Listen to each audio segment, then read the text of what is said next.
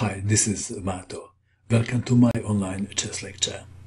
In this video I will show you a game between Yevgeny Boguslavsky and Xinyue Wang. This is a game from Budapest tournament, played in 2012.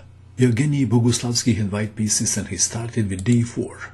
Xinyue Wang played d5. Knight to c3. c4 is the most played move. Knight to f6. Bishop to f4 and now c5 white to move. E3 is the standard move in this position. But there was a surprise. So early in the game white played e4 what opening is this? Hmm? this is Morris Gambit player with black pieces was not familiar with the position. So he had to think very hard early in the game. Not a good news, is it? Knight takes on e4. What else? d takes on e4 is possible, then d5. This is Albin counter gambit reversed. What is Albin counter gambit? When white plays d4, black plays d5, c4 queen's gambit, and now e5, Albin counter gambit. Pawn takes pawn, d4. So what we have in our game is this position reversed and white has an extra move to our game. This is the game. White did not take on e4 with the pawn. He captured with the knight.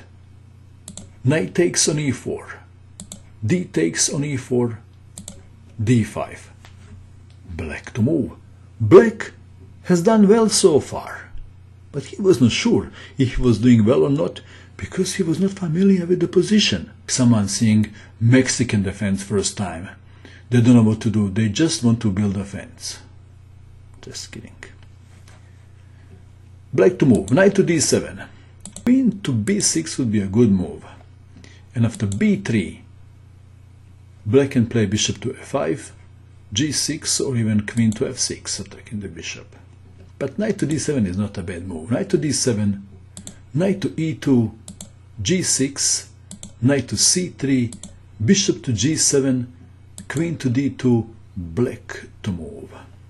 What would you do? Would you castle or would you defend the pawn on e4? Xinyue Wang defended the pawn. Beta was castling. And if white takes on e4, then bishop takes on b2. We have f5.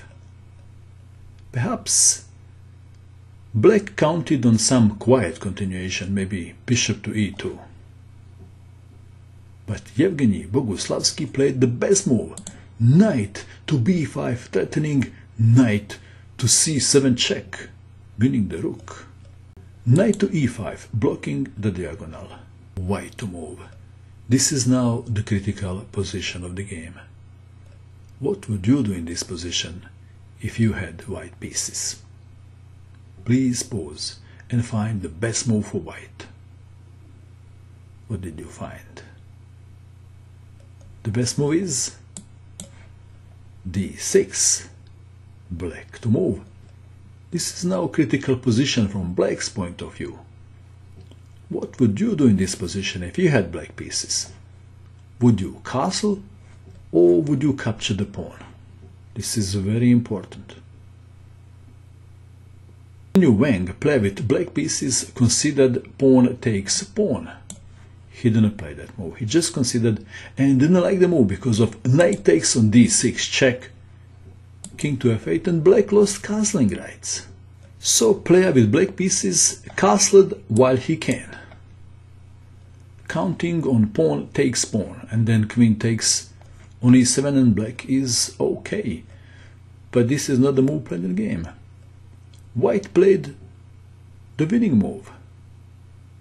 What would you do? What is the winning move? The winning move is bishop takes on e5. Bishop takes bishop White played a move and black resigned. The move is Queen to d5. Black resigned in view of this continuation. Rook to f7. Queen takes bishop immediately is possible. Perhaps bishop to c4 is even stronger. Wow, what a game! It is not a bad idea to play those less known lines, is it? What do you think of this game? And that is all. I hope that you enjoyed watching this video. I wish you good luck with your chess and bye for now.